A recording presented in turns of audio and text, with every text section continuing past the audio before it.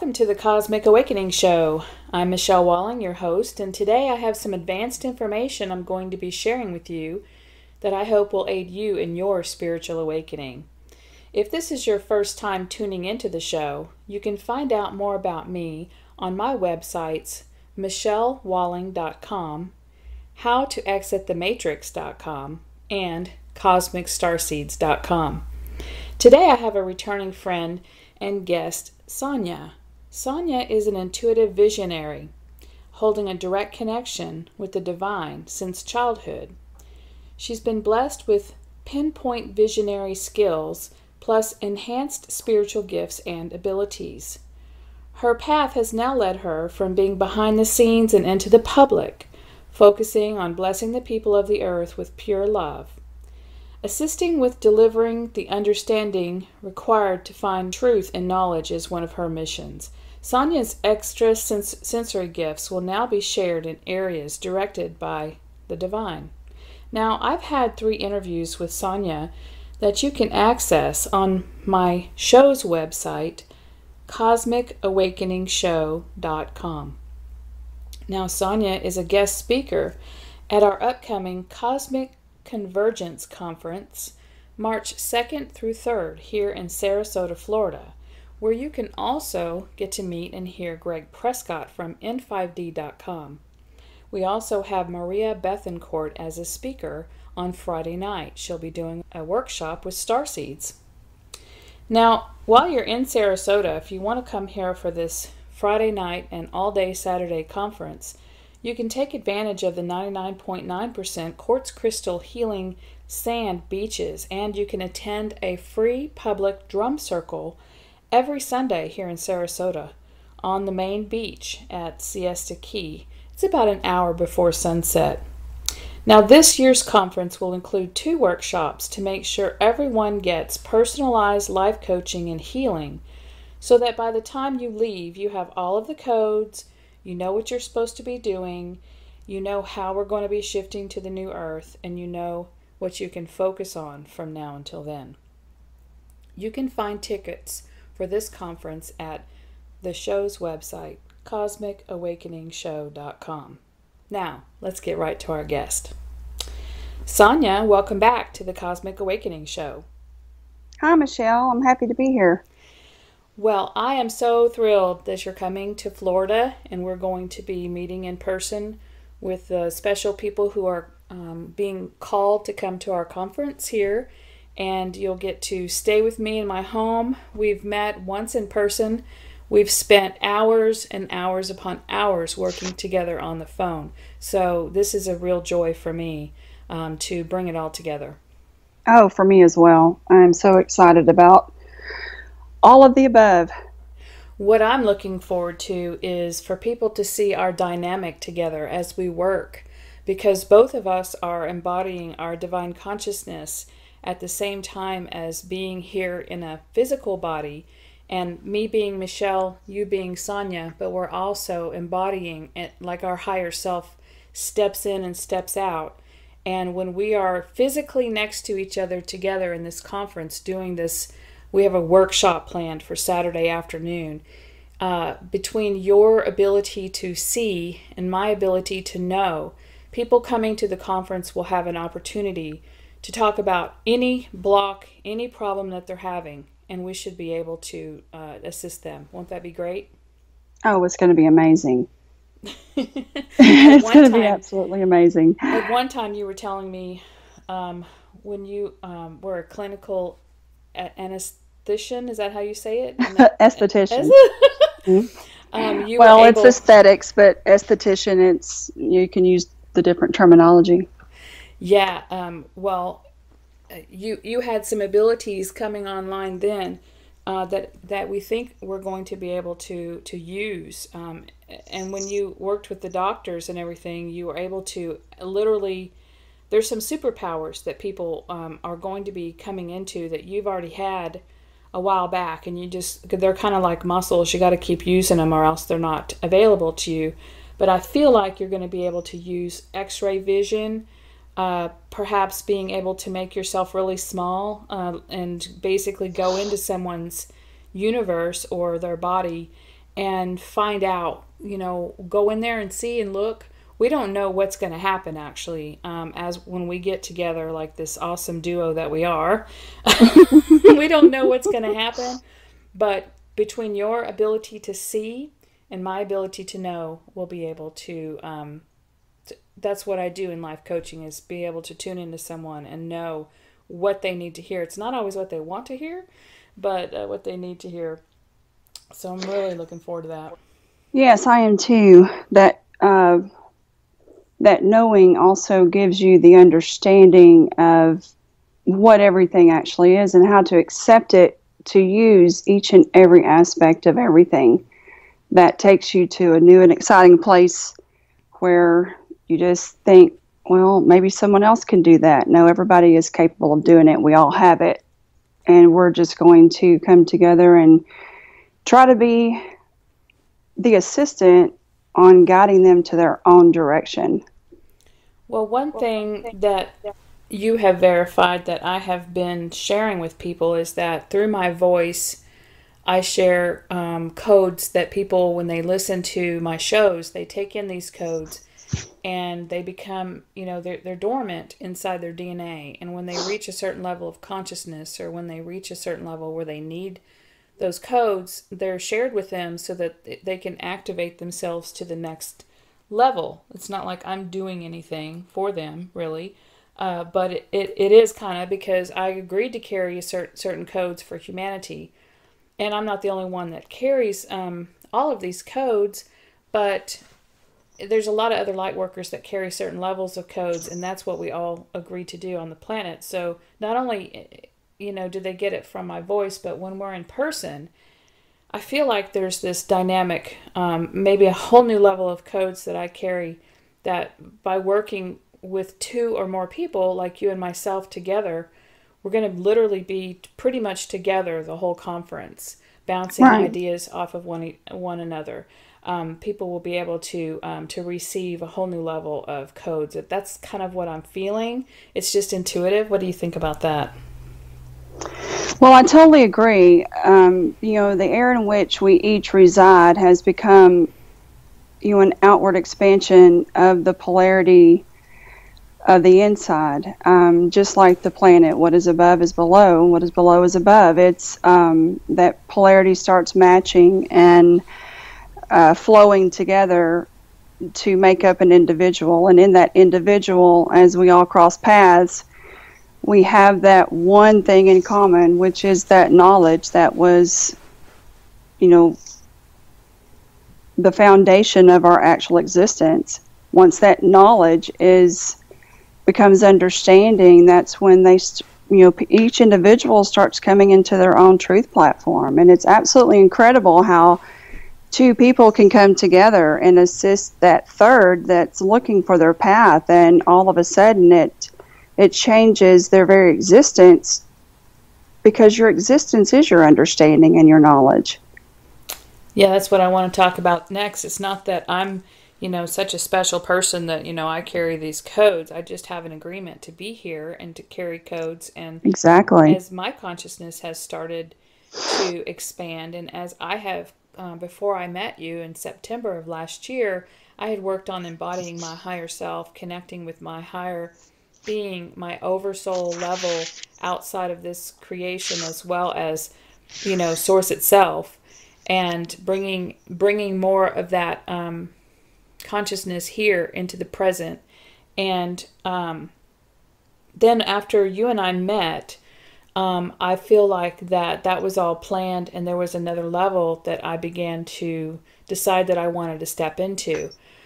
The first level was stepping into the father's shoes, whatever whatever that meant to whatever that word father means to other people. To me, I I stepped into the father of this creation's shoes, and I said, okay, I'm gonna st- I'm gonna stand here for a while and let's see what that means to embody that. And I switched over as well to stepping into the mother of this creation's shoes. And before I, you know, really get into what I experienced, um, let's talk about the the father mother polarity of creation and what it means to embody that as a human being here and how that's going to affect um, our reality. Well, I've always called that higher aspect, you know, my father. Um, the visions I had, it was my way of interpreting exactly what was going on in my little world. Um, then I came into realizing that each individual calls that person something else. You know, there's so many different religions. We kind of touched base on this in the last interview. So it's it's coming into finding who that voice is. That everyone has that voice. Um, when someone says, "Oh, well, I don't hear this or I don't hear that," well, who, who's talking to you? Who, who is who is that little voice in your head that tells you turn left and not right, or turn right and not left, or you know, go, keep going, you're not quite there yet? There's that little voice. Just you put an uh, a name to it, a familiar name, something, and then that name may change, you know, periodically and becomes someone else. But that is that Christ consciousness that's leading and guiding you. That you have actually put an identity on that you know feels good to you that you trust someone that you trust there there we all have that person whether they want to call it their higher self, their their God, their their father, their mother, um, then the different aspects of that creator, you know, um, can just go in an infinite, and it's it's, it's an infinite amount of um, uh, aspects that can become whatever you need it to be in each moment.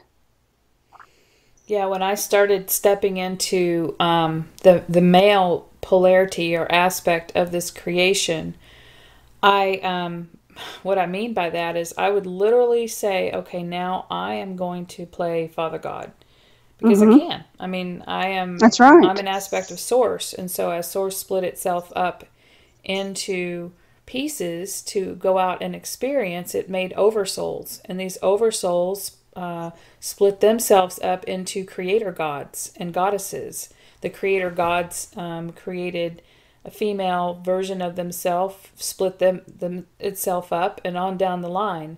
And um, so, as I stepped into the father's shoes or the male aspect creator shoes, basically I could see how the patriarchal dominance was, you know, the prop one of the problems here, the overbalance of the masculine and the underappreciation of the feminine, and I began to own it. I began to say, "That's know, right." Well, I look at, I would look at it and see it. Look at it, meaning I would uh, think about it. Think about all the things that are, you know, the struggles that women have. Um, and the overcompensation that some women have by being over dominant and being over controlling uh, and being completely in fear because of what's in our cellular memory. Exactly. Those the, those two words own it. That's those two words are what brought me to the understanding that I have today. It was that moment that okay, well, I've had father, you know, since I was born.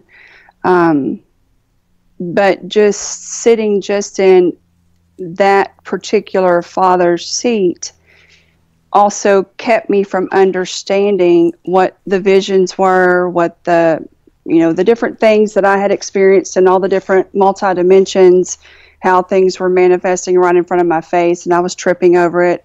All of these different things that had happened, just you know, it, it's an everyday life for me as you've come to understand, getting to know me uh, a little bit better but I had to see that if God is everything, or you know, who, whatever you want to call, you know, it, it's not limited to just my version. It's never limited to just my version. So I always try to make sure that when I'm talking with someone, they understand that it's, you know, God as a whole, or Creator as a whole, has these different aspects, but within those aspects, there's distortion. Where'd the distortion come from?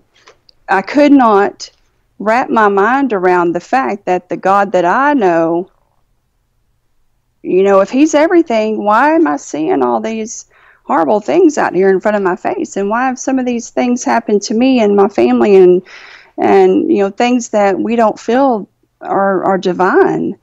And the only way I could understand the difference between the creation mode and the transformation mode was to actually step into that other seat that, you know, who would want to do that? Uh, it was very devastating for me, you know, several hours of weeping because when you own that position, you're owning all the destruction. And it hurt in my oh my gosh my heart hurt. Remember i called you that day. It was absolutely horrible. It was just oh my god did i do that? Did i do that? Oh my gosh. But that in itself took me to an expanded it literally expanded the left side of my brain to a point to where i could understand how there had to be an alter ego of god to have gotten out of that one single cell, that one atom, that one spelled either way, A D A M or A T O M. That's the science and the spirit. Either way you look at it, in any aspect of anything, that had to occur in order for us to be actually not sitting on each other's lap in a little bitty round circle without identities. Well, we're not I'm not saying by explaining this that everyone needs to stand into creator mode. I'm just saying that uh, between you and I, this I'm sharing what we have the the work that we've done together to come to the understanding uh, that we have, and a lot of this uh, final understanding will be shared at our conference. Uh, we'll be recording it, but there'll be some some real magic happening that you yes, that, that's sh- just the exercise that worked for me. Yes. Um, it's so it's like a it's it. like a tool to use. so I tried it, and I had I had some horrible experiences as well. Um, higher self could be um, you know one of the aspects of the of the creator of this reality. You know, kind of like they're not really lower aspects; they're just they're pieces or parts of the denser. They're they're in a denser vibration and they have knowledge and experience, but they don't have the total uh, picture of the the matrix that we're in, the reality that we're in. It's a holographic reality, and it can it is unfolding uh, from a program, and it is um, the parts that we're creating with it. We're creating as a human connected to this matrix and as we are connected to this matrix, we are co-creating our what we see, hear, feel, taste, touch. Um, and part of the the DNA that has been, uh, I guess you could call it, turned off or not been accessible to us in the etheric realms uh, because of the vibrational frequency that we've been existing in, has been the sixth sense or the ability to not only know and realize that you're creating what you're seeing and experiencing, but also that you can change that creation. And that's what the angelic people who are here, the star seeds, the light workers, that's what we came here to do. So when you know, in my show, I've been talking about transfer, transforming yourself, connecting with your higher self, doing your healing work, all the things that have led us to where we are right now. And that is literally understanding the creation and changing the reality. So, um, as I was standing in Father's shoes, I um, I began seeing things in my reality change, and the synchronicities were absolutely amazing. I could literally see my signature on everything in my reality. Mm-hmm. And um, situations would start to happen and I didn't consciously know that I created the situation, but then it, it, would unfold and I would go, "Oh my gosh, I just created that." And this was like um, an accelerated learning school to see what I what I still held inside of my cellular DNA that had not been addressed. Right. Also, I created um, because I chose to stand in creator's shoes. I somehow subconsciously created um, co creations with other people that would enact plays that would show them what they are still hanging on to. So exactly. whoever was in my reality was going to get a double dose. right, right, right. What That's how it thing, works. Yeah. What kind of other things can you add to that? To that? Well, my biggest uh, quest, I guess, on this that little adventure I took was, you know, that we all want that. We all want what we have described as the good, the the good life, you know. But what is the? Where's the fear? You know, the fear would pop up. You would see the fear. Um, in every different form, you know, whether it's um, poverty or sickness or illness or, you know, skin conditions, um, pain, all the different things, you know, the common denominator in that was, you know, emotions. So, in order to find the origin of those emotions, you know, that trail for me was, you know, digging deep and following it back. And you know where it led. It led to the other aspect. Um, but it didn't doesn't have to be that detailed for someone.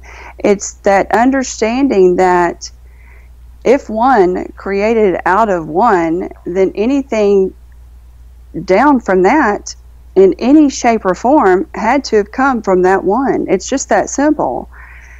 You know, I wanted to understand the details. Not everybody needs that. I have friends that totally get it without even having to, you know, dive through multi universes day after day, hour after hour, minute after minute, you know, which in every which direction.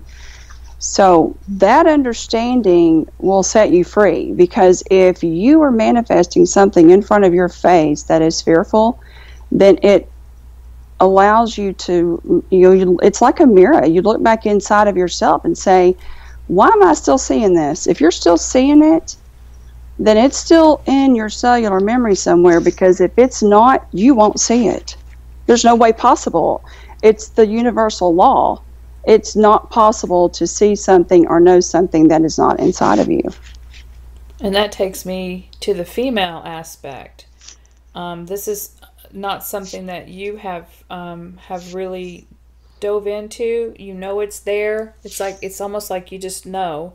And whereas you kind of merged with the father aspect that was inside of you, had been talking to you since birth, and saw things from the father aspect. When I jumped into that female aspect, oh my gosh, it was like um, it was like a merging that opened up a whole new understanding and reality for both of us. Um, when I stepped into the female aspect, I uh, realized I was Earth.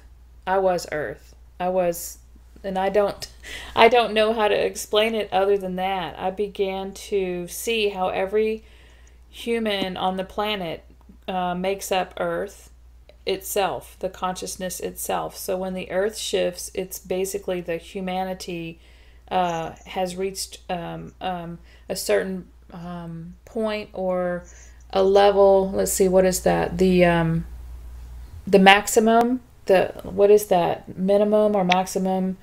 Um, the macro. Uh, no, it reaches that level to where it's over fifty-one percent. Um, oh, you're talking about the. I, I know what you're talking the, about. Okay, it's yeah. like the polarity of that particular. Yes, organism and the size and the that's what humanity's for. Humanity mm-hmm. is, you know, they come people um, from all over, beings from all over come to an ascending planet, which is a plane, which is a matrix that is a creation.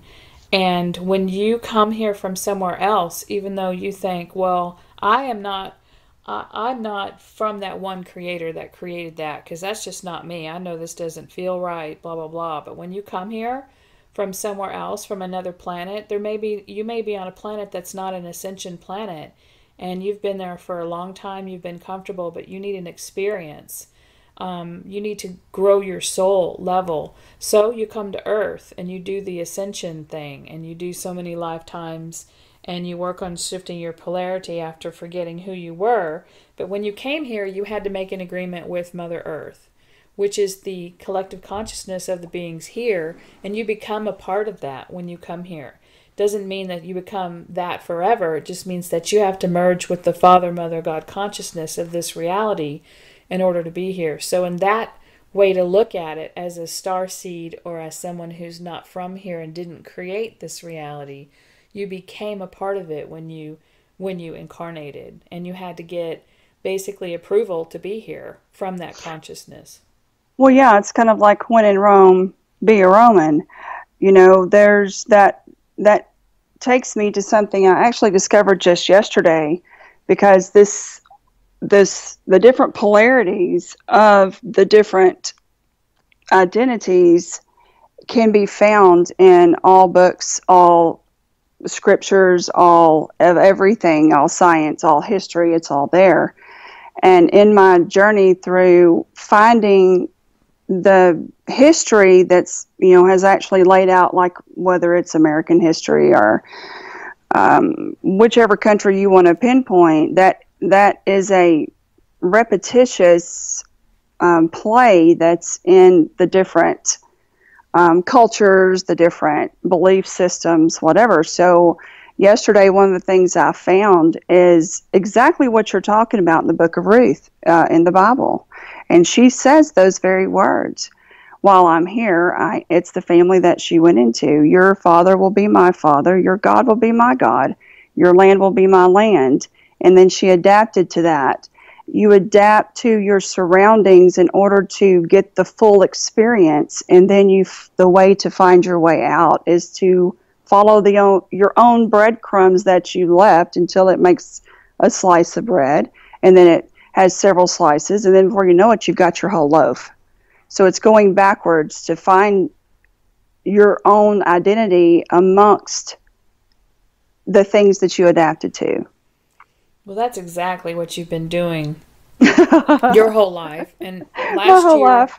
last year you told me that's when you really started being able to understand. When we met, I had the understanding of what I had read, what I had assimilated in all of the videos, all of the all of the information online that my higher self has i mean all of a sudden i would just end up where i needed to be listening to what i needed to listen to and mm-hmm. learning. I was basically learning the word the jargon the words that humanity was using to describe what was happening. And what you had done your whole life is seen visions and had things happen to you and everything unfolded the way it should. And you really started being able to piece that together with the knowledge that i had to understand where we are uh, as far as on the ascension path, where we are as a collective, where you are individually, where I am individually, and you know each person in your life where they were individually, and it's just been fascinating. Um, we are a unity consciousness here, but we have been creating in distortion, and that in a way was a purposeful thing of this reality in order to um, provide the soul growth needed um, through um, fr- friction, through friction, through through emotions. And um, what we're going to be doing at the conference is is helping people pinpoint those emotional distortions and um, you know transform them, transform the polarity of that emotional energy uh, once and for all. But yeah, there's one thing I'd like to say add to that mm-hmm. because one of the the biggest messages that was left that I left for myself, there was so much fear entangled around it that I would never look at it. I would never look at it. I could not see my own message because of the emotions that were so entangled around it. It was like a, a cobweb with, you know, any little insect you could find, and all you could see what I couldn't see it for the emotions. So when I conquered the fear only by, you know, doing the little exercises or tools that I had, you know, created for myself, was I able to see that every message in these articles or books that I was scared to look at or I thought, oh well that's not that's just not for me. You know, I don't I don't I don't have to look at stuff like that. Well, where else are you where's the best hiding place for yourself while you're creating is in something that you know you put so much fear around. It's the best hiding place you could have put. So it's it's quite incredible when you start realizing that something that you refuse to look at you refuse to read was where some of your um, biggest clues are at. Let me tell you the irony of this reality and that all the answers are within. That is true but what do you think this reality outside of you is? It's a projection through the through the eyes and through the matrix of what is inside of you. Mm-hmm.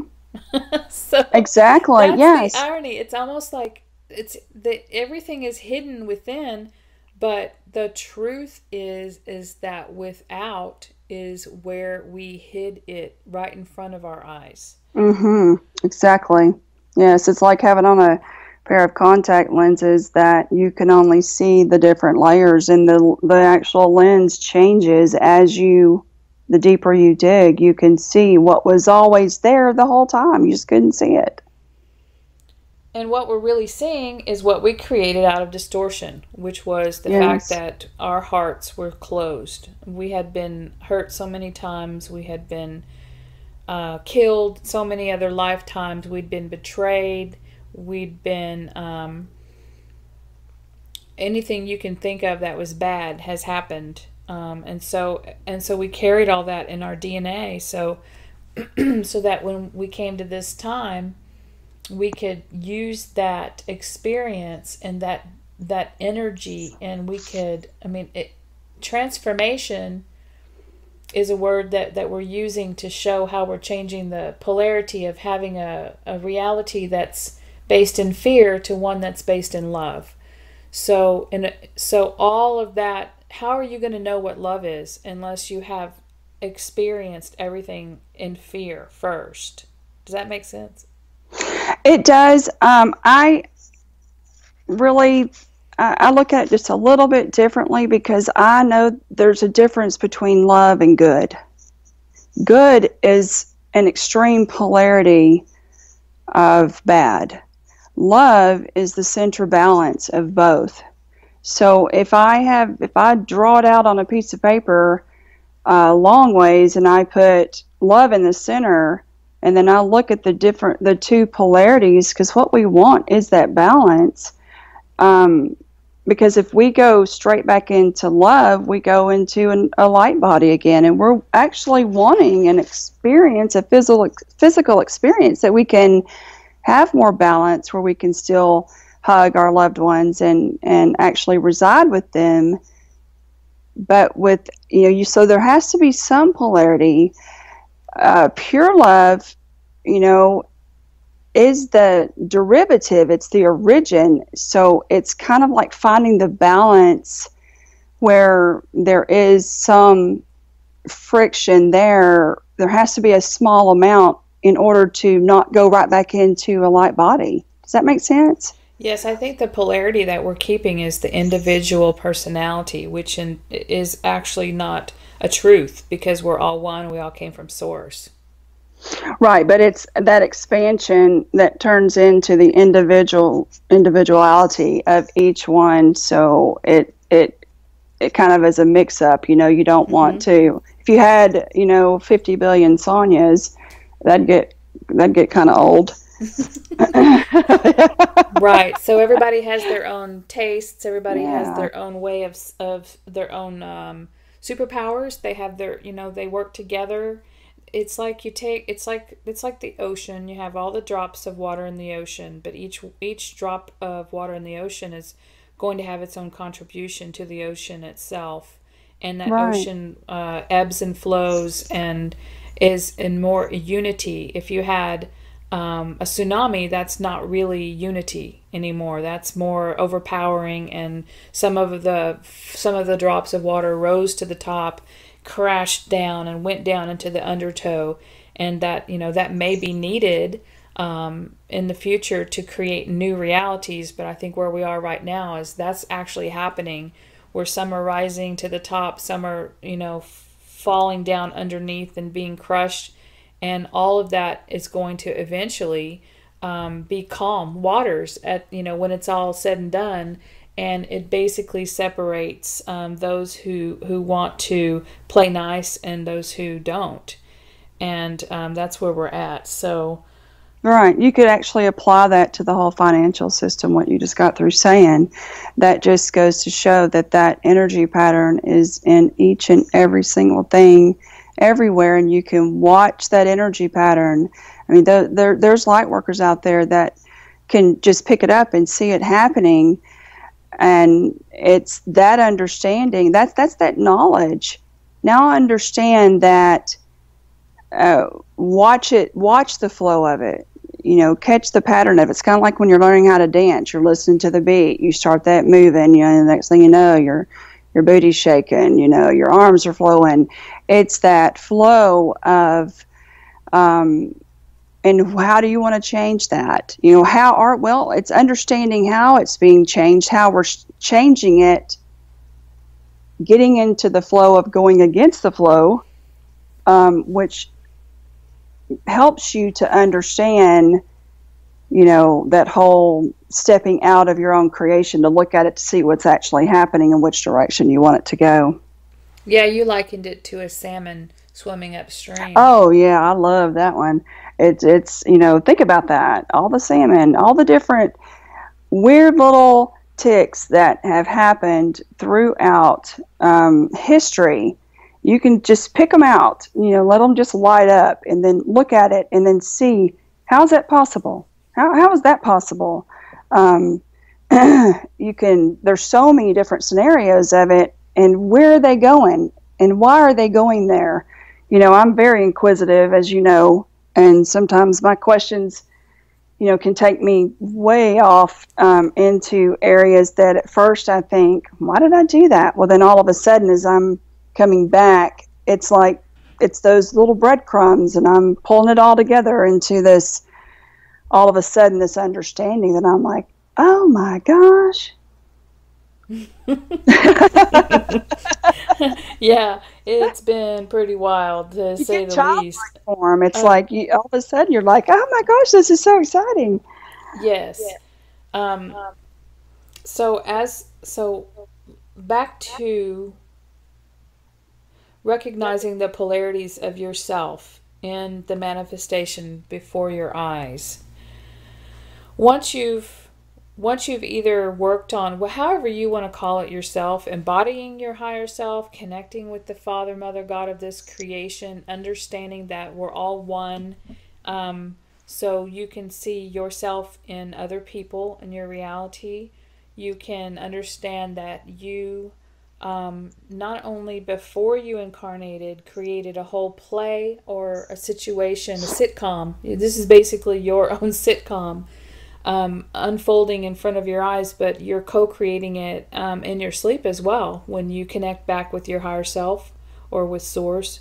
And then you say, Well, I don't think I'm getting far enough on this. I think I need to create something in my world. Uh, so let me just get into this matrix here and reprogram this and that. And uh, hey, uh, Sonja, you want to co-create something with me? Uh, let's have a little friction in our life. So you know it'll unfold tomorrow when we wake up.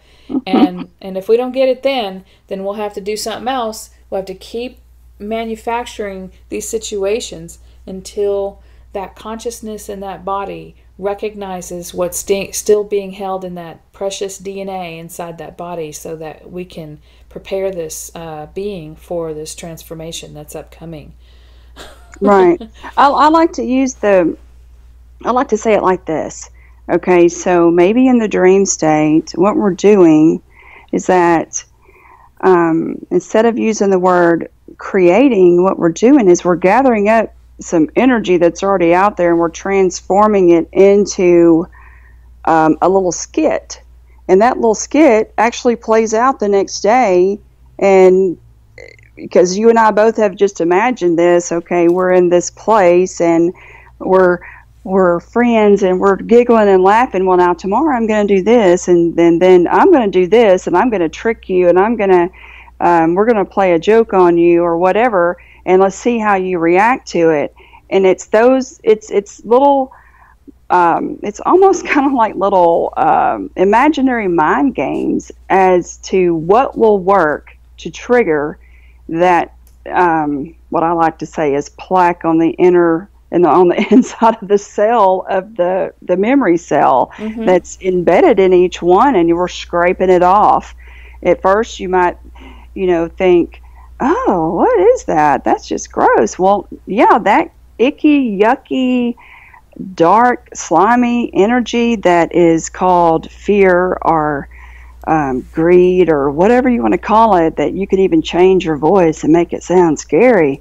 You know, whatever you need to do to lure it out become your own bait. You know, yank it out of there so it can be transformed into a beautiful uh, fruit bearing tree somewhere you know that's a shade or um, that you can listen to it as it blows in the wind something more balanced and um, heartwarming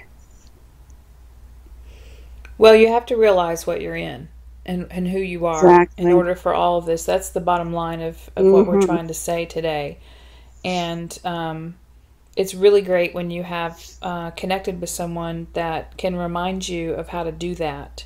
And once one person does this, just one person going go going deep within themselves um, and accepting that they're creating their reality, that they've created the cellular memory that's in their DNA, and um, transforming that energy and, and, changing the polarity of it, then it uh, that manifests as an open door for the rest of humanity to remember how to do that and remember where we are. Not everyone on the planet has this in their uh, play to unfold, but I know that the people who are uh, the first wavers, the first, um, the people who are slated for ascension, who who came here to to ascend, the people who came here who have already ascended and came here from another plane of ascension to help push uh, humanity forward and the ascension forward so that because it already has happened there is no time. But um, there were people who came here to ascend from other places that that did not um, couldn't wake up out of the spell. And then you know there were such some players here uh, that played the opposing forces the ones of domination and control and of fear that really did a good job in the play. Oh wow, yeah. And so um, some of us came here to embody the wholeness of the situation, to kind of tone down that extreme part of the negative in order to give those a chance who really want want to catch this ascension or this descension wave depending on how you look at it right right because that, that's a, a good that's a good statement because it is in which direction you look at it because everything you can trace it back to in the order it was received. That the in the order it was received is how you find yourself in each and everything and as a whole even you can follow back history as well. Well, as this creation was an expansion at one point it knew that it was going to get to um, the densest part of its creation and began to pull uh, energy back from the densest part back up. That's what the ascension is in a way, but in order before you can ascend, you have to descend to the to the most extreme densest part of the creation in order to change the the bottom of the of the barrel, so to speak, and then turn it back, um, pull it back out, pull back out to uh, merge back with it's like a slinky. You pull that slinky all the way out, and then when you start pull pushing the slinky back together, all of those timelines start folding and, and collapsing on top of each other until when you take a slinky and you push it all the way back together, you can literally take like um, just putting a pen, uh, writing an ink pen, a pencil in the middle of that slinky all compressed and you can jump onto the pin and slide back um, out of the creation. That's kind exactly. of like the, it's like the I node point. Yeah, it's the node point. That node point is where it all folds over, and that's the very center, which is in each and every individual and each and every um, town in which they reside. Then that node point also is in that larger uh, state which is then that larger country then and as that all folds over and folds back out you know that very center of that individual's uh, reality is right in the center of their heart and then all of a sudden you see the center of your heart all over the planet. It's absolutely incredible. Then you'll see what journey you've taken. Yeah, let's touch on that a minute because it is it's a little surreal because you have to understand we're in a holographic matrix, but in order to create a reality, there's a template that's used. The distortion on the template is what's what we've created out of fear or what we've created out of dominance and control, which would be fear of not being connected to source and not having any energy to survive. So I'm talking about the reptilians and what we've deemed, you know, in the past the archons and all the parasites and vampire attachments that are in that fourth dimension that are not connected to source and are fearful of losing their existence because they don't have energy. So, um, so in, in order to, I just totally lost my train of thought. Help me pick it back up. oh, you sounded like me when I go off on one of my little journeys. Yes. okay, so but what were we talking about right before that? See how do you see though because Are, I even said the words Are we still being recorded? yeah. I can't tell the difference. Do you see how when I said the words reptilian and archon, how the energy shifted to where um, I lo- I was I was I literally was watching you. I was literally watching you like float off. I'm like, what is she doing? Is she still recording? Are we still talking? What's going on? I was watching you float off. Yeah. what is that? I don't know. I but, love it this is a great, great opportunity for me to say what I'd like to say. Oh, yes, go ahead. Okay, okay. So uh, if if all this stays in the recording, um, I don't. I'm sure all the intuitives out there just felt Michelle kind of like float off for a few seconds. Well, that to me is the the this this greatest opportunity to say that right there was an example that was manifested to show us all how what happens when fear or even the word reptilian or vampire or any of those things comes up. Um, I know Michelle doesn't have those fears, but she manifested this just for this this specific opportunity because once you see those fears and you see that it is the the word reptilian you know immediately your mind goes to you know the illuminati or the you know these uh, what do you call them? All of these um, oh what are those zombies or all these things that you see on tv or you know the the kids don't seem to be worried about it. Have you ever noticed that? Yeah. The kids they love like playing the games and everything. they love playing the games. Why aren't they afraid now, you ask a 50 year old woman that has three or four kids and is now a grandmother, and she'd be like, oh, don't be watching that. That's going to tarnish you. I've been there. I was that person. I refused to watch anything with blood and guts. I just wasn't going to do it because that's where my biggest fear was at. I couldn't understand. My fear was my children being hurt. My, my fear were for my babies I knew I didn't have to. I knew not to watch it. You know, I, I just knew that I didn't like the way it felt. But I thought that they were going to be lured into some hideous, uh, you know, sacrificial, whatever. You know, words I don't. I didn't even look at. Well, all of a sudden, when I realized that those exact things were the individualized manifestations of a huge collective of billions. Those are the fears manifesting that when those fears are looked at and they know that they actually created each and every one of them, then that the polarity of it switches instantaneously and cannot exist. In our reality, they don't. But right. what we're having the, what we're having to do is literally go back to talk to people and tell them how to get to where we got. And you know, I still right now can't remember what I was talking about before I manifested that situation so that we could see. I was literally speaking as my higher self, totally in a flow of information from my cellular DNA, knowing exactly what I was talking about. But when I spoke those words, it completely cut my train of thought and my channeling ability off. Mm-hmm. So that was that was amazing. That was cool.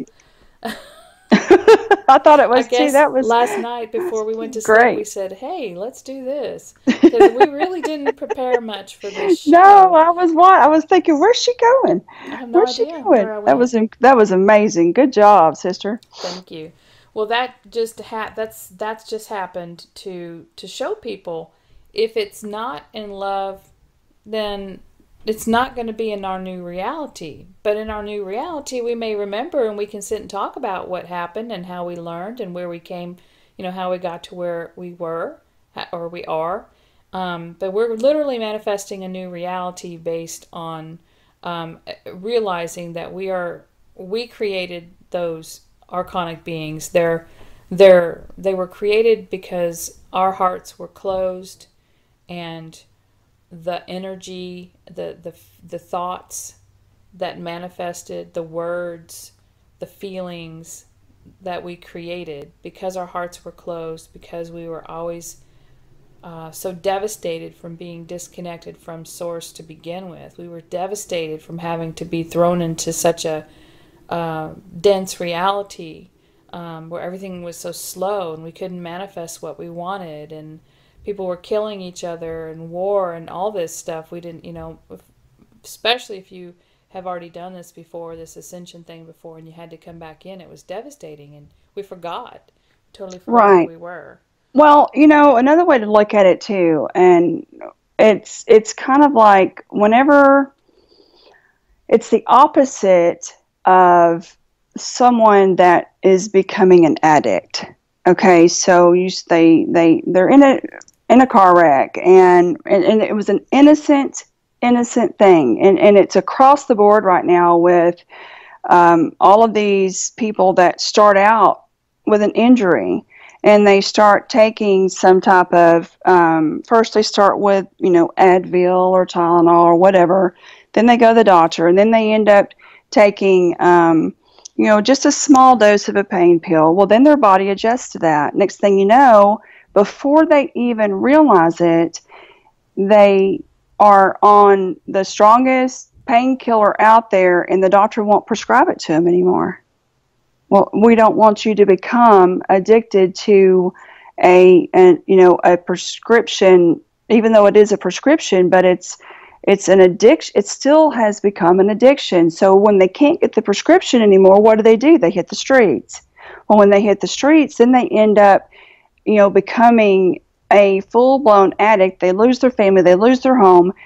It's so that direction that we can see each and I mean, it's everywhere.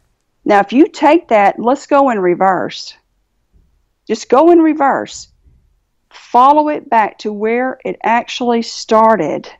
And then what caused that pain that ever made you take that first pill to start out with? Then you follow that back then you follow that back.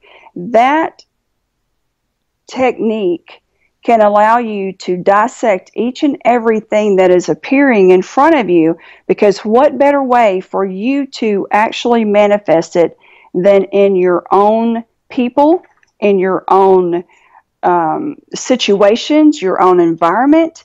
When you look at it, and it's find the familiar spot. There's a familiar avenue in each and everything that's right in front of your face.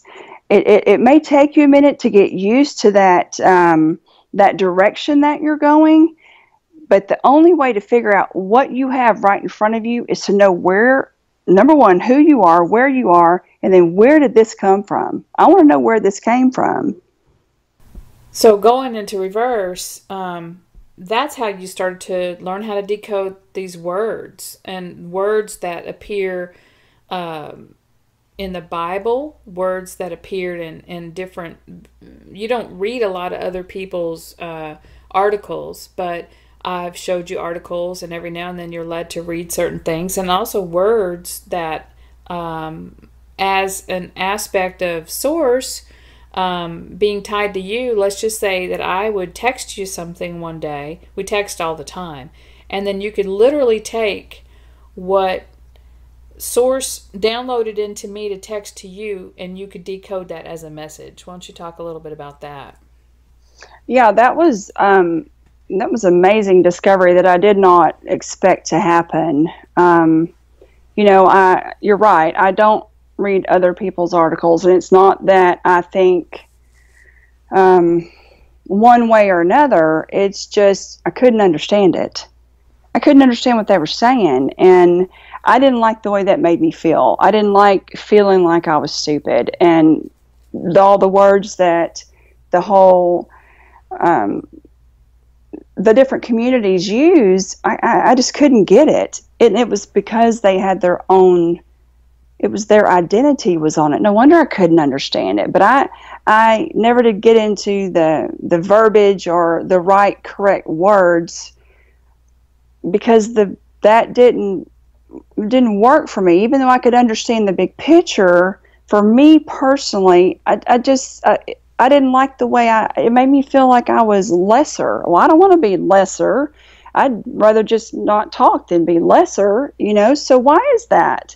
It was this whole feeling that took place is what, and then understanding how, you know, we're actually in reverse now, which has become our destination you know it's it's it's like not driving the car in reverse but actually just kind of like flipping it over and going back right through what you created um, and as you pass this stuff by you're like well well, I don't really understand this or that so instead of just driving through it you know i have to get off and dig down in what am i looking at because as i was looking at it backwards i could understand it which was crazy um, but how do you during, see? Oh, go ahead. No, go ahead. Oh, how do you see that in the Bible? Well, you know, I never could read it. never could. You know, my history of you know growing up, my my linear history, like with my mom and dad and family. You know, I was uh, raised Catholic, the first part, and then we went through every single religion. You know, so I got a taste of every single thing out there, but you know, I, I couldn't remember what they were saying because, you know, I was kind of in my own world every, you know, single step of the way. But I would hear what they were saying, but I it didn't jive with what was going on inside of me. But then I, so as you know, as an adult, and I'm looking back and thinking, you know, um, there had to have been a reason for that, and one thing led to another to where I started um, it was my communication with you know father which led me to understand and say well why well why do you think it's that way? Or why do you think it's this way? I'm like i don't know. Well look at it this way or look at it that way. So when you start looking at all the different languages out there and how if i say you know shopping or um, couch or whatever they say it differently across the world. Um, I say it with a Texas accent, and the vibration of what I'm saying sometimes I noticed it, especially too with my iPhone, that you know Siri can't understand a word I'm saying. and I thought, why is that? You know, why can't this chick get what I'm saying? You know, I have to stop and put my glasses on and top it out and it just gets annoying because I would try to so I would try to change my voice. If I changed my voice and tried to be more precise and even, you know, change the the tones and the the length of or tried to. It's not really easy when you've been raised in you know the part of Texas I've been raised in. You know, it's a lot of slang. It's a lot of slang talk for whatever reason. Um, but I'm assuming Siri was you know, developed in a, a factory with someone that had very precise English, English language. You know what I'm saying? Because how else? Why can't she understand me? She dang sure wasn't made in Texas, or she would have got it. You see what I'm saying? but yes. that was my whole point of understanding that how that word is pronounced, um, the different syllables in it. So I started looking up the words in syllables. Well, the different syllables meant nothing, nothing like what I thought they meant. Mm-mm. So I thought, okay, that's just kind of weird. So I started applying that to sentences. So when someone would text me, I would take that sentence and I would what I call decode it by the different syllables in the words. Well, then you can, but you have to go to the origin of where that word came from. You could look at which century it came in. You can look at if it was um, uh, New English or if it was derived from you know the Latin language, wherever it was derived from, you can um, counter you know crisscross and get counterpoints as to the whole layout of the timeline and, and history in itself, which I knew nothing about. I was never present in school. You know, I was my body was there, but I didn't get anything out of it. Then all of a sudden, I realized that what someone just said to me that sounded like um, I'm just going to use a hypothetical sentence Sonja, you're a hag. Okay, well, when you start decoding that, it's like you're doing an amazing job. It was nothing. it was nothing like what this person said. Okay, so it just shows you the distortion that has been layered yes. on the um, not only the translations, but what the Vatican or the Catholic Church wanted to use for um, keeping people under control. control. Yes, and control. for the for the for the new versions, the New Testament, new versions of the Bible. But right. the origin, the origin is still there. It's because these beings in the fourth dimension or whatever they are that we created these emotions, the negative distortion doesn't know how to create. It's it doesn't have creational abilities. It can only change, mimic, um, mimic, and mm-hmm. change. So you yeah. can still find um, the original uh, message in the Bible. And you can also, the Bible has the unfolding of the transformation of the times that we're in now. So, um, everything does, not just the Bible, everything does. You can look at history books, you can look at the Bible, you can look at um, any religion, not just the Bible. You can look at um, Islamic, you can look at um, I can't even think of them all now, but any religion that you could absolutely imagine, the same exact stories are in there. And once you've come to this understanding, for whatever reason, that lifts that distortion. It puts you, it changes the air in which you reside to where that air becomes compatible with each and everything on the planet. Okay, now you're taking me full circle to when I floated out of my body and Okay, so this is the most important thing that I want to talk about that, that we've seen. You briefly mentioned that where you are in your town, where you are in your city, where you are in your state, where you are in your country is all a fractal, a fractalization of a pattern of creation that's used to create this matrix to where when you fold, you can fold everything um, like on the map. If you were to lay it out like like the flat earth theorists that's why the flat earth theory became so big so that people could understand that this was a plane of existence p-l-a-n-e mm-hmm. there is a fractal flower of life template pattern that's used to duplicate itself all across this plane. So if you want to flatten everything out to in order to understand it, then you can that way. So if you fold all that up, starting from the outside, like those little when we were in high school, we used to write notes to people. yes. fold them all up into this football thing and fold it all mm-hmm. up into a triangle. That's pretty much uh, what this reality is. So, um, what what we see, where we where we are right now, as in going when we go backwards, we're not linearly going backwards in time back through the timeline. We're jumping all over the place. And we may be going to 1800s and grabbing a part of that and folding it back up uh, and, and, folding that corner up. And we may be jumping to the future um, when we wake up in our body. We're somewhere different every time. We're not in linear creation anymore. We are now in witnessing and grabbing mode to where we're folding everything up and making it into that little three that triangle football if you were to take something really sharp and poke it right down in the middle that's how you can travel back and forth uh, along that uh, creation um, go ahead and just expand on what I just said, and then we'll go from there. Well, it's, it's it sounds complex, but it's actually extremely simple. Um, this creation was just for expansion. If you're expanding one into billions, it's still going to be that one. So the similarity of that one is going to be embodied in each position on each playing field. So I don't care how many playing fields you put out there, you can find that one inside of it. No matter where it's at, it, it is going to have the same, uh, it's going to become the same shape, even though it looks like it's not because the borders have meshed.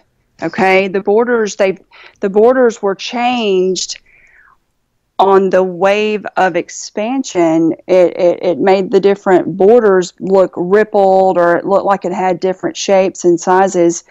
But when you can get down deep into it, then you can see that it is the same exact situation, um, same instance that has just repeated itself with a different individual personality flare on it. Okay? So if if God is in all and he's duplicated himself into billions, it's still God in each and every single one. So that familiarness right there of who he is, or if it's your higher self, or I even know someone that calls him Jason.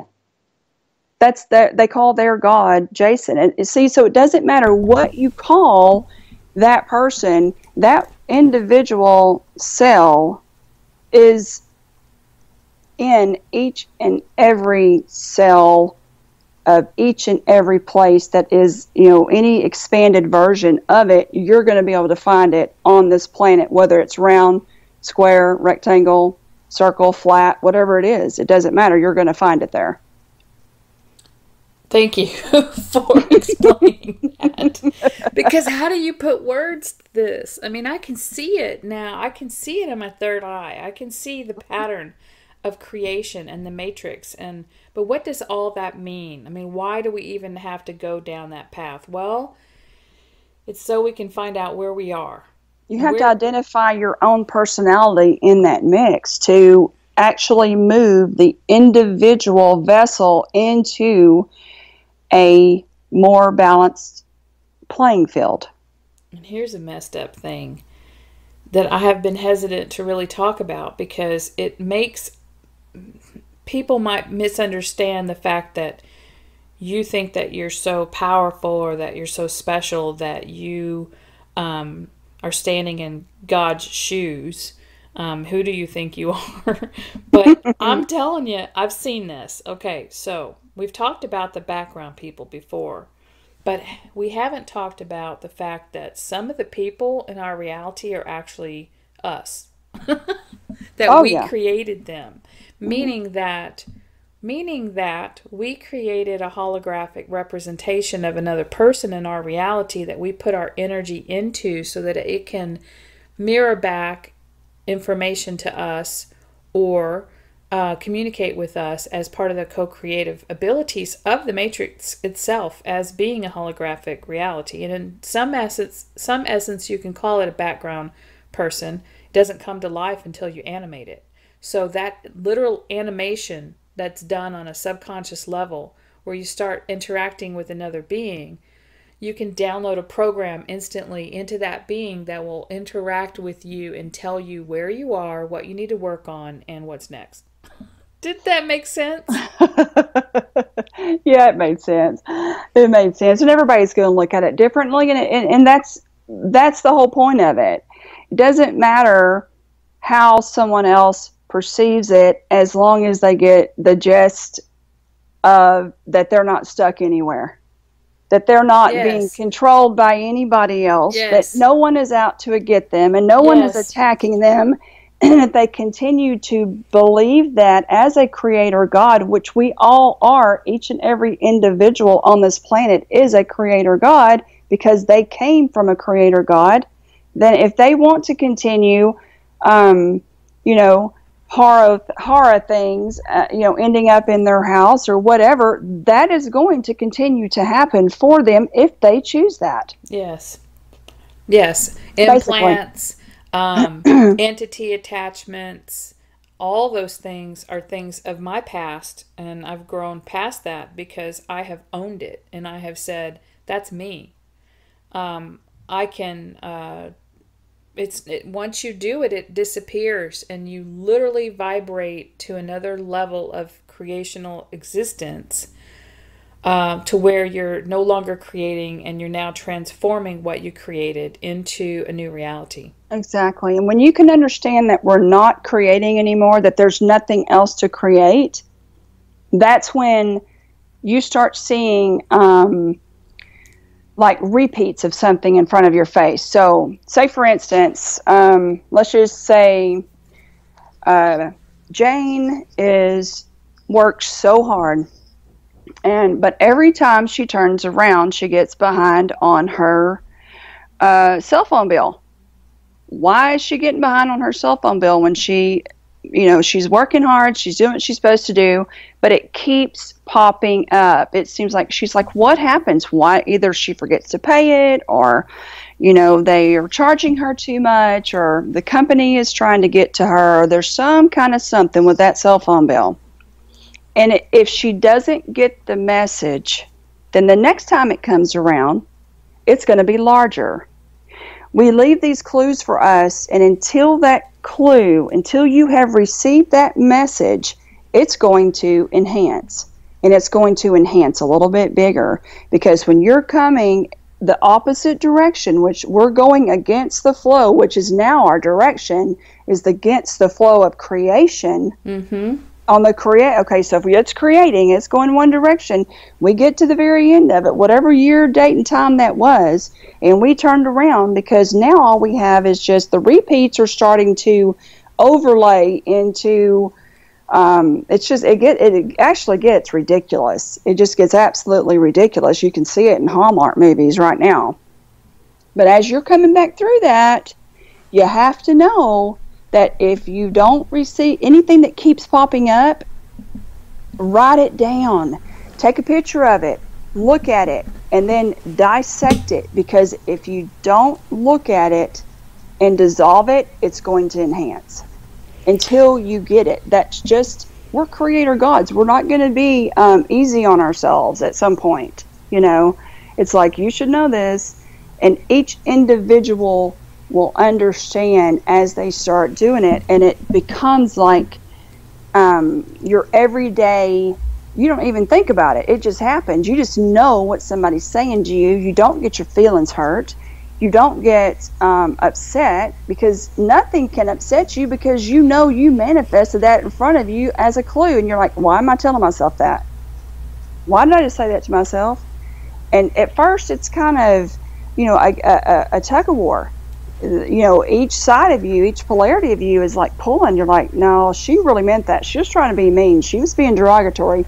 Are you kidding me? There's no way anyone can be derogatory to you. This is your inside. It's your. It's almost like having, you know, a dark one on one shoulder and a light one on the other. Well, then they switch places to confuse you. But that in itself will allow you to understand where you're at, what you're doing, who you actually are, what your particular mission is, which most people don't really get what it is. You know, I was one of them. I didn't know, like, what am I supposed to be doing here? I felt like I'm all over the place. Now I know.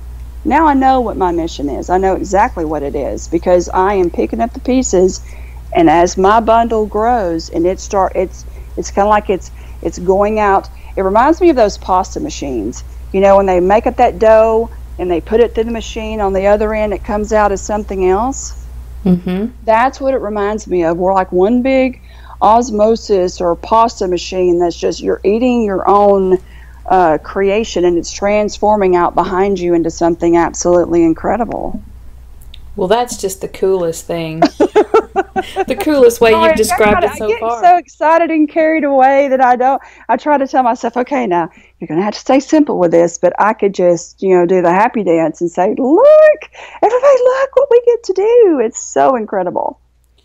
Okay, so what we're learning well why when i say we i'm talking about you and i and i and i know other people are already at this phase of understanding so Oh, most that when i say yes. we that's who i'm talking about Mm, It might look different and it might feel different, but they're doing the same thing. yes, it this is all about understanding what we're doing. It's not that we are, you know, I'm doing something that nobody else can do or, you know, that I'm all that. it, No. just I just happen to get it. aware. Yes, Exactly. yes. We're all doing it. I just happen to get it. Yes, that's why. I, that's one point I wanted to make, and the Hmm. second point is um, about walking as a master. We're basically walking through this reality, through this. We're not really moving anywhere, but we are walking through the matrix, and we are every day we wake up. We're in a different place, and we're kind of we kind of are pulling um, our whole timeline together and we're helping and assisting other beings pulling their timeline together. Eventually, we're going to pull everything down to just a few timelines, and the way we do that is we we look at our reality, whether we use the Bible to to to get the whole storyline, whether we watch movies, because now we're not afraid to watch movies or turn the television on. Nothing can affect us because we created all that shit to begin with. Well, because that's your message. If you turn it on, if you have the desire to turn on the TV, then you're on the other side of there looking like either a news person or an anchor person or you are, you know, a a movie star, whatever whatever. You are everything. So look at every message and take it in as it's a message for you. I don't care how hideous it looks. I don't care how hideous it looks. That message when it's decoded is nothing like what it looks like. That is still the distortion creating this, you know, this blase picture of something that makes no sense whatsoever. Because what is a master? When you're mastering something, what does that mean? That means you understand and know exactly what you're doing. The only way you can do that is to understand where you're at. and you own it. That's So you're- right. you're own it all. You're, uh, you know, sometimes you even say, "Well, I think I wrote that movie." You know, when you, It gets quite um, funny. you- yeah. you- yeah, you can you can be on Facebook and it, you know you're not worried about the government uh, watching you, but yet you're being led to every little clue um, that someone else is writing. They are you, you are them, so they're giving you your next clue. So what Well, yeah. you're doing, the government watching you is your own clue that you're on the right track. Why not twist it and turn it into what you want it to be? You are the creator God, after all. Why not? So while you're sitting at the movie and you said, "Well, I'm not going to eat that popcorn and have a soda because that all that shit stuff is GMO, it's full of toxins." Uh, no, where you go to the movie now, you sit down and you say, "Well, I'm going to give me a buttered popcorn and I'm going to have a root beer and I'm going to own it and I know that this can't affect me." So while you're doing that, what you're the steps you're taking, whether whatever whatever tools that you use, movies, you're eating, you know, you're following your own personal uh, body as to what it needs in that moment to make itself happy so that you can start your your mastering. What you're going to do is you're going to observe. Follow your cravings. yes. You're going to observe. You're going to detach emotionally from what you see unfolding.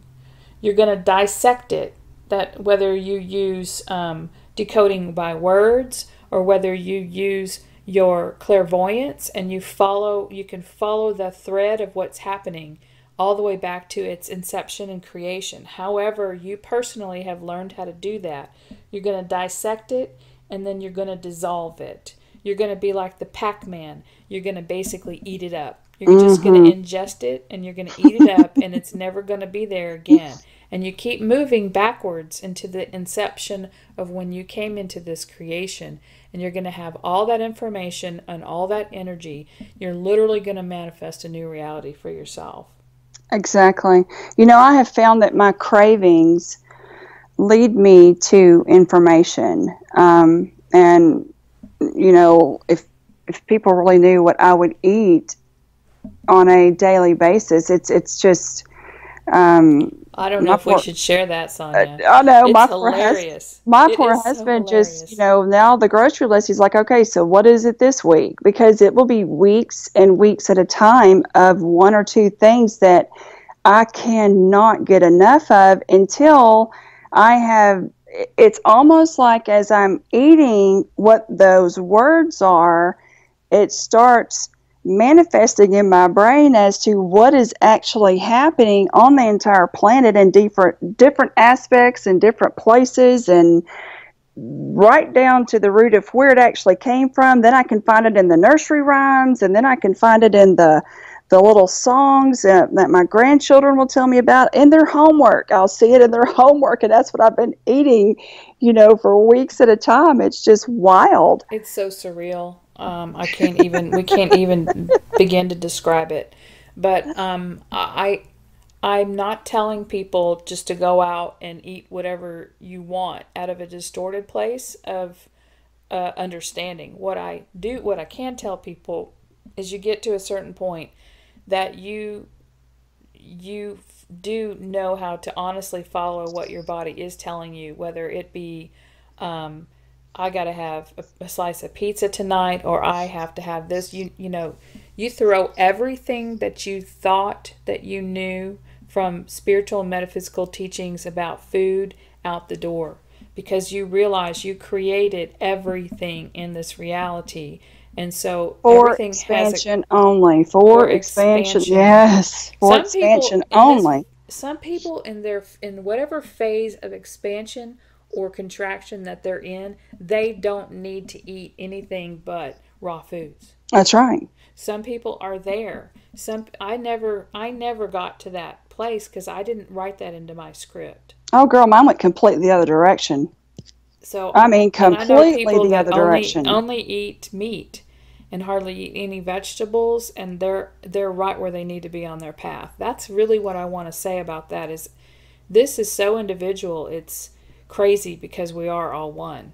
So well, some, the thing is, is nobody else can crave. Okay, so you have two different individuals there, and one of them is you're actually co-creating, and one of them is you know what even if they think it or they feel it that all they want to do is eat lettuce. You know, all I want to do is eat lettuce, lettuce, lettuce, lettuce. Well, you as soon as that individual decides that why am I wanting to eat lettuce all the time? There has to be a reason because nobody wants to eat lettuce. I mean, come on, get real about it. It's grass. You know, it, it, um, not just lettuce. Well, you know what I mean, but it, it, it's the concept of it. You know that why is it to get skinny? Um, is it for your outer looks? Is it for your to be healthy? Is it for then? Vibration. How do you how do you know that that is the truth in a distorted reality. How do you know that? That was my biggest deal. How that's do when I, we were in creation mode. That's right, and it's distorted. So how can you believe anything that you've ever been taught or anything that you feel like you know when it is in a distorted reality? The only thing that you can depend on is your inner guidance. That's it. Mm-hmm.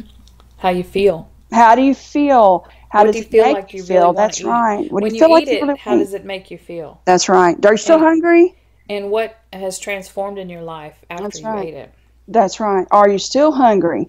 If you're still hungry, or if you feel sick at your stomach, then what is the food? Okay, what is food anyway? What does the word food even mean? What does I, the word food mean? Do you need a food. second to look it up? No, girl, I don't need a second. Food is feeding the knowledge that was instilled in each and every cell that ever left creator's existence. The, that is the, the the food is what you feed the knowledge to give it the understanding that actually takes it to the the the truth platform. So when that knowledge that's instilled in you it can sit there dormant okay? But when you feed it the right thing, which is not doesn't actually mean um, what you're putting in your mouth because is that even real anyway? It's, it's energy. It's exactly. Vib- it's sound geometric patterns and vibration. Exactly. So if you eat, if you go ahead and put in your mouth what it becomes a habit, it changes your habits. And I'll go on and say it. I don't mind saying it. One of the things that I craved was pork pork skins or and it wasn't just the pork skins, it was the pork you know, the different brands were different. The different if it was a pork rind or I'd never eaten them in my life. Just just didn't. I don't know why. I mean, I, I never saw them all of a sudden I'm eating that. I want that, and I want Butterfingers. And my husband was having to buy them by like like the you know the whole shelf in the pantry was, was just my items for that particular time period. You know, because I don't even go to the grocery store. He goes to the grocery store because I can't. You know, I'm, I'm I don't. It just happens for whatever reason. No sense in getting into that. But when I would eat this, because I'd gotten to the point that nothing tastes good to me anymore. I didn't enjoy eating at all. So I started following my cravings. And, you know, first it was sausage, and then it went to, and it was a particular sausage, and then it went to these pork rinds, Butterfingers, and grape sodas. Well, that's when I got into the whole color of things and how it was, you know, that was a whole other story there. But when I realized that why Sonja in particular was eating pork rinds, is that I had to understand what happened with a an actual pig or a hog. Okay, when um, it, it's a it's it seems hideous, you know, because of the distortion. But when you take a pig, they kill it a certain way to make bacon or, or ham or whatever they do because the moment that you kill that pig, the emotions, if it's if it sees it coming, that emotions will poison the meat. Okay, that was an example for whatever reason that my higher self or my father or my higher God was trying to show me that I need to understand what those just what those emotions that fear now how can a pig feel fear it's proven because they're the meat would be poisoned. Okay it's a proven fact. Now all the people that don't eat meat and all that i understand. That's a sensitive subject.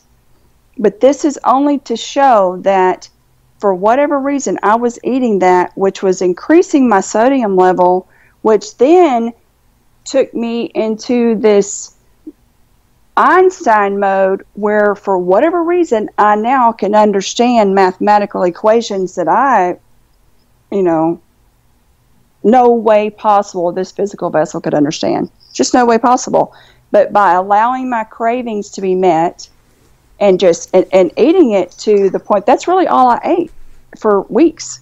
For weeks, my um, my body is becoming healthier and healthier by the day. Um, How much is, weight have you lost? Since, I've lost uh, sixty pounds since, since when? July, yeah, since July. Without now, dieting, I've you just didn't followed you didn't take, cravings. You didn't take a multivitamin. No. You don't have the daily recommended dosage of the, no. the pyramid triangle thing from no. what the, you've been taught. You no, know? I don't have time to, to even.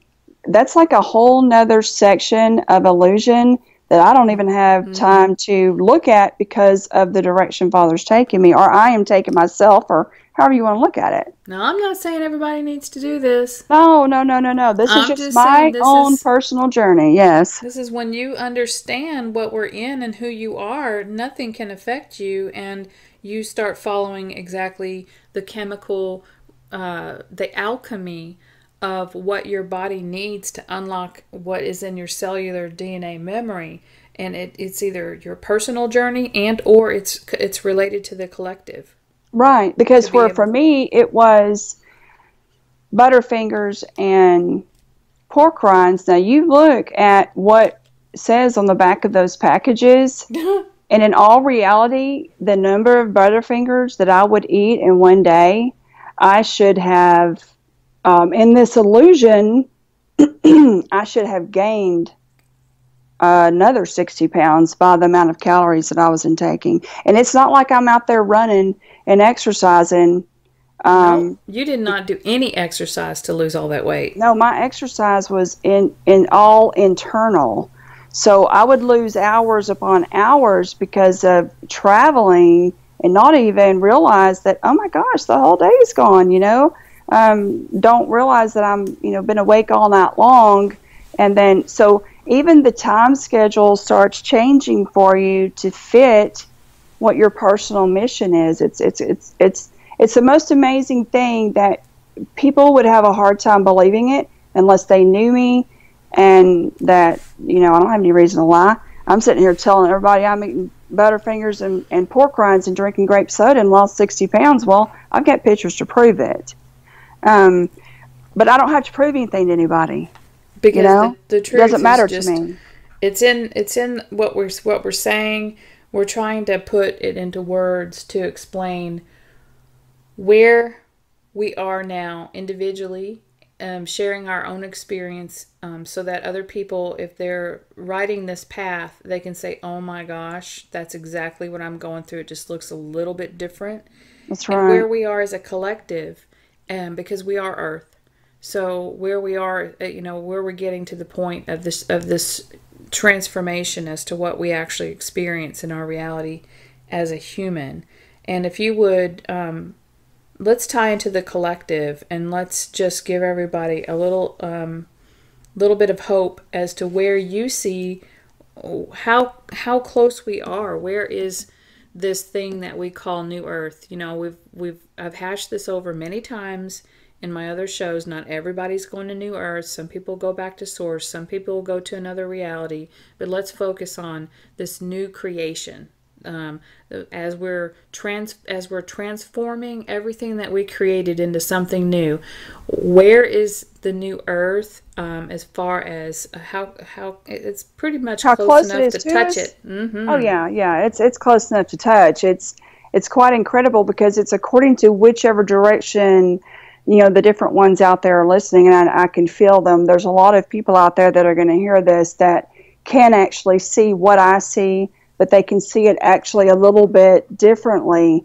But if you look at, you know, the the longitude and the latitude of it, it's that that firmament that was separating the two, you know, at one point was pretty thick, and now that because that was the illusion that from the direction that I saw it just yesterday has I could equate that to being um, and I don't, you know, the, the word I use isn't actual is isn't actually correct, but it's actually does describe it from how I see it because I don't want anybody to think that that this word that I'm going to use is how far away it is because that's not the correct there's not a terminology there's not a terminology for where it's at but I would say that that firmament has now been um, transitioned into uh, the only thing left is like one minute. There's mm-hmm. one minute between us and it, which is not linear time. It's the it's like the the width of the band that is stopping the meshing or you know for the transition to like trade places basically. Mm-hmm. For all of this energy that was used for creation to be transformed into that, there's it's like the the consistency on a drawn out scale of one minute. Does that make sense? Mm-hmm. Because we're already there, but our, yeah, because we're, we're already there. Yeah, our consciousness uh, that we're that we where are right touch, now this has to change. Yes, it's where your feet are touching is going to change, and when that there's only like a minute of thickness left, which is a huge difference from where we were we were last week or the week before that. Now, sometimes we step back and then we get right back on to being one minute away, right? Yes, yes. Okay, so we're so it, we're making excellent progress, and um, as we wrap up this show, um, I just want to. Um, we're not going to give any dates of what we what when we think that we might literally, like in the movie with Eddie Murphy, trading places, where we're literally in our other body, in that other consciousness. We're not even going to talk about that on this show, but uh, I'm just putting that uh, teaser out there to think about. Um, for each individual, it's going to be different on how we literally trade places or create or move our consciousness into the new reality, which is just a moment away. Um, I don't know how long that's whether it's going to be individually, you know, some maybe oh, you do that and then maybe it's up to each individual mm-hmm. each individual can actually accelerate their own process um, into a higher um, balance that's the beautiful thing about it is that okay so say for instance if you've got um, five people that are walking the same distance and they're all going to end up at that place they're all going to take the same road but there's one or two of those people that decide, well, I want to get there first so I can go do this, this, or this, but it's still getting to that same destination. You've got destination A going to destination B, or if you want to call it one to two, or whatever you want to call those, you know, the beginning and then the next step. Okay. If you want to accelerate your own personal path, which is going to a balanced place like each individual is, then I can help you do that. Because I get it. I get it. And it's so exciting. Yes, I can help you do that. Well, one because last it's thing. their own journey. It's always the individual's own journey. It's the clues to find your own self. And you're not doing individual sessions, and I actually have not been doing individual sessions for a while now because A, we've been so busy working on our individual selves and getting us to this particular understanding. B, we've been working with each other so much that I haven't had time to do anything for anyone else personal one on one. C, we're preparing for the conference where we can um, individually work with 80 people at a time. And D, we're going to keep trying to do these um, these type of interviews and maybe even some video Skypes in the future where we can reach more people at one time rather than you know being there's just no way we could we need to reach a broader audience and anyone who would like to um, host us at a conference um, we would love to do that as well until as we get closer and closer to uh, our individual uh, consciousness. Hopefully, um, we're we're we're manifesting as quick as possible our transition into this new reality. But while we're still here, if anyone wants to host us, we'd certainly be um, willing to do that. Right, right. Because there are a lot of there's a lot of people out there that are happy where they're at right now, and they want to stay in that position for a little while longer. And it's totally okay because at this point, after everything has, the creation process has completed, you know, I can't tell you what to do and you can't tell me what to do or which is better for me or which is better for you you know because you'll come across people that are totally satisfied in the position that they're in and that's absolutely wonderful you know i mean um, who am I to tell them that that's not okay or that even the fact that there may be something better out there for them because obviously where they're at is something that that their personal vessel is requiring you know? So it's we're all in this together and that means that you know if one it's kind of like this if one of your kids wants to rodeo and the other one wants to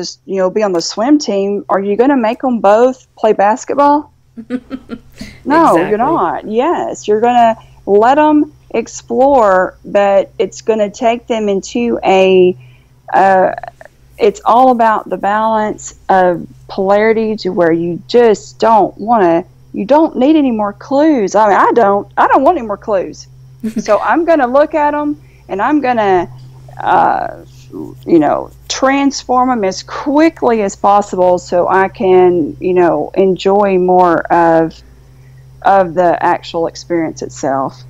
Well, and from my perspective, um, when I step into the Mother God shoes, I'm saying, all right you can play rodeo, but you better you better hurry up and get that rodeo stuff done because the rest of us are creating a new reality where we don't ride on the backs of the horses or the donkeys or you know the cows. We don't do that, um, and, and and so we're creating a new playground. And whenever you're done with this Earth experience and you want to move forward, uh, we'll have a new reality waiting for you, basically.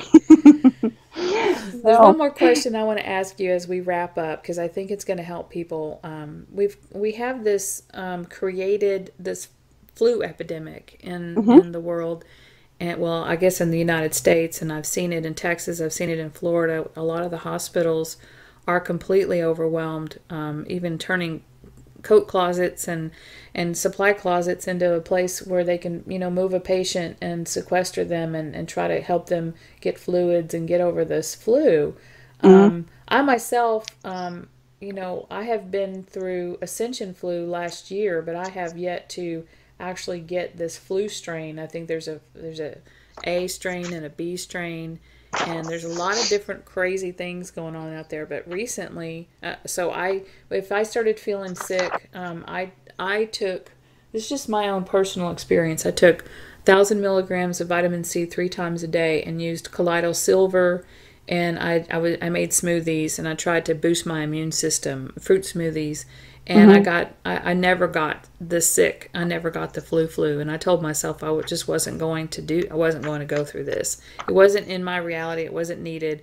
Within a couple, like two days, I started feeling better. But I've watched other people go through this flu, and recently you started feeling it coming on. Come on, you know. So how did you keep from getting the flu when you felt it come on? Well, first off, I'd like to say that um, you know, I walked into an area to where everyone had it. Where were you? Where were you? I was at a hospital. I ended up at you know there was something that took place in my in my personal family that ended you know took me to the hospital that actually took me back to the hospital not for my own personal self but for different family members. Um, and the flu was you know everyone was wearing masks and you know hand sanitizing and whatever. Well, um, I didn't wear a mask and I didn't, you know, I don't like nothing on my face, number one. so, you know, I, I, didn't do what everybody else was doing, and I was just observing. You know, sometimes I can just kind of float in somewhere and just not really get the fact that, hey, um, there's like a disease up in here, you know, because I'm not seeing the disease. I'm seeing, oh, why does she feel like she's got to do that? Or, you know, I'm, I'm analyzing what the behavior patterns, not the, um, what's actually is this virus that is airborne or you know, doesn't even have a form unless you put it underneath the microscope. Okay, so I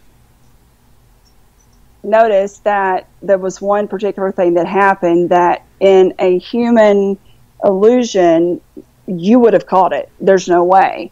Um, it was the area that I was in, what I touched, you know, that that type thing, without getting too graphic about it. So several days later, um, all of a sudden, I started having these signs of maybe getting the flu. I mean, I've had the flu, you know, years ago, so I know how it feels. You, you know, you're, it's, it's just not very comfortable, and it's just, it's just gross. So I felt it coming on. Well, this was right in the middle of me understanding how to change the polarity of the air in which I reside. So instead of, you know, um, it's kind of like when you put those uh, air shocks on your vehicle so it's not bouncing on the terrain if you go across rocks. You know, all these vehicle or cars and trucks have have shocks on on that make it a smoother ride. You know, so you don't have to feel every single bump that the car is actually making. The shocks actually absorb that movement. Okay, so it's using all of that um, mathematical equations of how, and then because my in my original question of what polarity did Jesus or what portion did Jesus hold of divinity to have done the things he did the stories whether it was you know real or not real that's irrelevant. It was the stories that were told the messages that were left for us to look at in his words in what he says how he healed you know instantaneous healing um, you know some of the stuff it was just it was miracles. So how did he do that? And how did he not catch it? And how did he not give it to somebody else? And how did it not kill him? That was my you remember when i went through that whole phase of mm-hmm. trying to understand the balance of how he did that? Well i figured it out because when that flu started coming on, I was reminded of all the different situations that I put myself in, you know, I embodied, and I put myself uh, instead of letting it, instead of it coming into me, I took myself into it. I felt the way it felt, and you know, I brought it back, and then I tried it. You know, I would, I was, I was basically playing with it to see what I could possibly do, and so at this moment, I thought, oh, my stomach's sounding kind of weird. There's some something's going on here, and so I just changed the air. I just changed the air. Um, that un- that knowledge is in each and every individual on this planet. So by what I the digging that I had done, I had picked up those codes, those clues, that understanding, and laid it. It was laid over the knowledge, and when those two came together, all of a sudden, I just had that ability that the air around me was changed, and I did not have another symptom. It okay. immediately stopped. All right, Sonja. I love you, but you're going to have to explain a little bit more. what what does it mean by changing the air in in the in in okay, terms so, that we can understand? Okay, so any light worker out there understands the different uh, bodies of like you know the etheric body, the physical body, the your, your auric, auric field, mm-hmm. all the different layers. Okay, well the only way that anything can penetrate the physical body is if it goes through those mm-hmm. fields Okay, so when you make you change the polarity of your auric fields to match that of the polarity of a an energy that carries um, instantaneous healing or you know that that balance, that balance of perfection, then when you can match that energy in your auric field all you have to do is watch what happens around you to see you, you kind of gauge it. You can gauge it. And anybody out there that's listening to me can get this because that's how we created. It's something it's it's it's it's one of our natural abilities like riding a bicycle.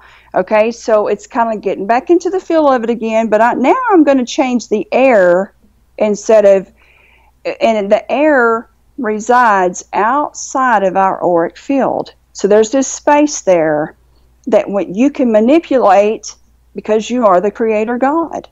So this space, you start manipulating this space and you let it breathe in and out to this point to where you're like, "Oh my gosh. I didn't forget how to ride this bicycle. Oh my gosh, I got this. I got this going on." Then all of a sudden, the symptoms disappear that were in that had actually penetrated the body by touching, feeling, or whatever. Does that make sense? Mm-hmm. mm-hmm. Absolutely. Okay. So then you you kind of breathe it in and out to where it becomes. Uh, it, it didn't happen like that for me. I was just able to change it because of all the research and all the digging and all the, not really research, but like going into the different layers of history and looking at the individual and what did I want out of this one and what did I want out of that one. I don't want that at all but I'm going to own it anyway. I own it so I can remove it. If I own it, I can remove it. If it's hideous and I own it, if, if my vacuum cleaner is full, I own that vacuum cleaner. If all the dirt and crap that I've uh, vacuumed up is inside of that little ca- case, what am I going to do with it? Am I going to hold on to it? Am I going to put it in a Ziploc bag and save it? No. I'm going to dump it and throw it in the trash and it's going to leave this house. Or I wouldn't have ever vacuumed it up to begin with. So if I own every negative thing on this planet, then I can remove it out of my existence. I can remove it out of my aura. I can then I can remove it out of the next space and the next space. So then my aura becomes a larger space, and that anyone that walks into my aura has to meet the polarity because they have divine in them my division, my portion of divinity on the that particular subject or whatever is going to be larger, it becomes a magnet, and then theirs, at their free will, can change it. So they say, by faith you are healed, by faith of knowing that no matter what, each individual has a spark of divinity, and that spark of divinity can be enhanced to perfection. And don't let anybody tell you any different. It's the truth. Well, I can't wait to see the magic that happens when we get all this these 80 people together. Um, even if we don't, even if we don't end up having 80 people, however many people we have at this conference, it's going to be one of the one of the the the most magnificent conferences I've ever held because it, it I have stood in the space of my higher self uh, in the last conferences and I've held the hands of the people that were there and we've done some amazing healing work together and we have sent out that healing work into the collective consciousness. But to have a conference where we're going to all stand in divinity and we're going to own it and you know we're going to um, we're going to then reflect that to each one of us uh, well, yes, and because grow it's that. time to claim our inheritance. You know, um, why? If you if someone left you um, something very special and but it belonged to you, it belongs to you, and then someone else left, say Greg, or they left you know any anyone put any name on it if it belongs to you and it's got your name on it why can't you have it mm-hmm. Mm-hmm. every single face on this planet every single every single organism that is a body can claim their inheritance and the moment they claim it it's theirs that's all they have to do is say you know what I am not weak. I am not fragile. Stand up. I am strong. That's I right. Well. I am perfect. Grab your inheritance and take it and use it to create, not to create, but to transform that creation into something that you desire, not what somebody else tells you you need or you, you should have or you want. Now, if you want to stay sick, who am I to tell you what to do? that's your own that's your own ball game. I, I I'm not trying to tell anybody that what they're doing is wrong. I'm sharing how I am changing the reality in which I reside. Period. And if I can assist someone into understanding how they can do that for their own individual selves, I would love to because it is such a miraculous thing. Yes, it is. And with that, we're going to end this show. And I appreciate you coming on. And oh, thank um, you for having me again. We're again. We're going to be at the uh, Cosmic Convergence Conference, March second and third here in Sarasota, Florida. Go to cosmicawakeningshow.com for more information or tickets. Anyone who'd like to uh, reach Sonja can do so. Um, through one of my websites. I have contact forms on all the websites that I mentioned at the beginning of this show, and I will also have them listed in the comment section at, uh, below in the video. So, um, other than that, uh, thank you so much, Sonja, and uh, we oh, will. Thank you again. we'll be talking soon. It's been fun.